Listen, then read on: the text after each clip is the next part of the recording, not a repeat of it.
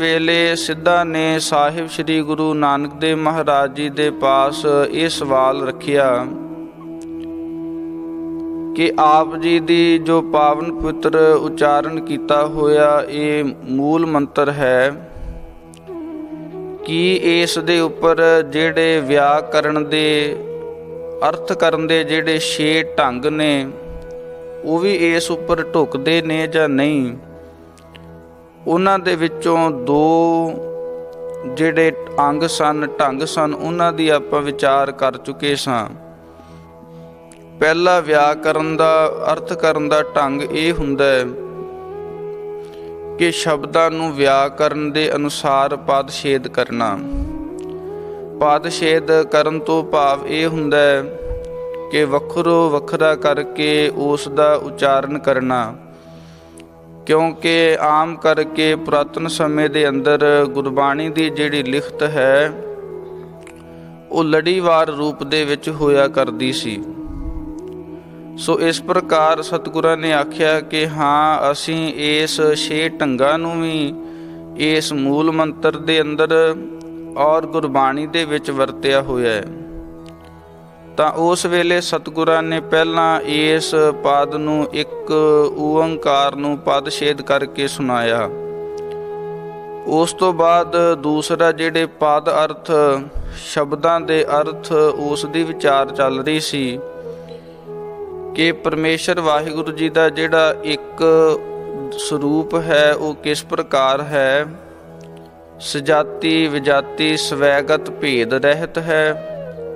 ਔਰ ਦੇਸ਼ ਕਾਲ ਵਸਤੂ ਪ੍ਰਸ਼ੇਦ ਰਹਿਤ ਹੈ। ਕਿ ਇਹ ਜਿਹੜੀਆਂ ਚੀਜ਼ਾਂ ਉਹ ਪਰਮੇਸ਼ਰ ਵਾਹਿਗੁਰੂ ਜੀ ਦੀ ਹੋਂਦ ਨੂੰ ਵੱਖਰਾ ਨਹੀਂ ਕਰ ਸਕਦੀਆਂ, ਪਰਮੇਸ਼ਰ ਵਾਹਿਗੁਰੂ ਜੀ ਦੀ ਹੋਂਦ ਨੂੰ ਮਿਟਾ ਨਹੀਂ ਸਕਦੀਆਂ। ਕਿਉਂਕਿ ਆਪਾਂ ਜਿਹੜੇ ਮਨੁੱਖ ਹਾਂ, ਆਪਣਾ ਜਿਹੜਾ ਜੀਵਨ ਕਿਸੇ ਨਾ ਕਿਸੇ ਸੀਮਾ ਦੇ ਵਿੱਚ ਰਹਿੰਦਾ ਹੈ, ਸਾਡੀ ਸੀਮਾ ਕਈ ਵਾਰ ਪਿੰਡ ਤੱਕ ਹੁੰਦੀ ਹੈ। ਸਾਡੀ ਜਿਹੜੀ ਸੀਮਾ ਹੈ, ਉਹ ਆਪੋ ਆਪਣੇ ਇਲਾਕਿਆਂ ਤੱਕ ਹੁੰਦੀ ਹੈ। ਪਰ ਪਰਮੇਸ਼ਰ ਵਾਹਿਗੁਰੂ ਸਰਵਦੇਸ਼ੀ ਹੈ।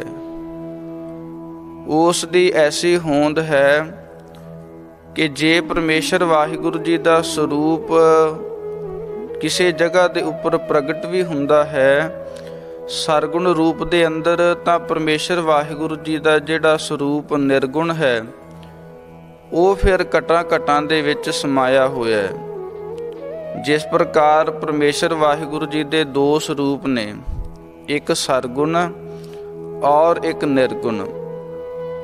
ਜਿਹੜਾ ਨਿਰਗੁਣ ਸਰੂਪ ਹੈ, ਉਹ ਹੈ ਗੁਨਾਤੀਤ ਗੁਨਾ ਤੋਂ ਰਹਿਤ ਜਦੋਂ ਪਰਮੇਸ਼ਰ ਵਾਹਿਗੁਰੂ ਚੇਤਨ ਸਰੂਪ ਹੁੰਦੇ ਨੇ। ਦੂਸਰਾ ਪਰਮੇਸ਼ਰ ਵਾਹਿਗੁਰੂ ਜੀ ਦਾ ਸਰੂਪ ਹੈ ਸਰਗੁਣ। ਸਰਗੁਣ ਸਰੂਪ ਉਸ ਨੂੰ ਕਿਹਾ ਜਾਂਦਾ ਹੈ।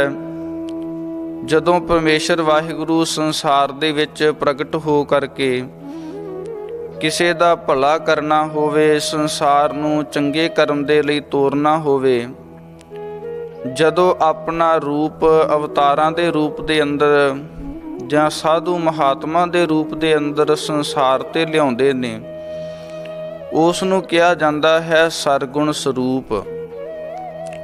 ਤੇ ਉਸੇ ਤਰ੍ਹਾਂ ਹੀ ਸਾਹਿਬ ਸ੍ਰੀ ਗੁਰੂ ਨਾਨਕ ਦੇਵ ਮਹਾਰਾਜ ਜੀ ਪਾਵਨ ਬਚਨ ਕਹਿ ਰਹੇ ਹਨ ਕਿ ਇਹ ਭਾਈ ਸਿੱਧੋ ਜੋ ਪਰਮੇਸ਼ਰ ਵਾਹਿਗੁਰੂ ਜੀ ਦਾ ਸਰੂਪ ਹੈ ਉਸ ਨੂੰ ਕਿਸੇ ਵੀ ਪ੍ਰਕਾਰ ਕਰਕੇ ਜਿਹੜੀ ਦੇਸ਼, ਕਾਲ, ਵਸਤੂ ਹੈ, ਇਹ ਉਸ ਨੂੰ ਕੱਟ ਨਹੀਂ ਸਕਦੀ। ਭਾਵ ਉਹ ਦੇਸ਼ ਕਿਸੇ ਵੀ ਪ੍ਰਕਾਰ ਕਰਕੇ ਪਰਮੇਸ਼ਰ ਦੀ ਸੀਮਾ ਨਹੀਂ ਤੈਅ ਕਰ ਸਕਦਾ।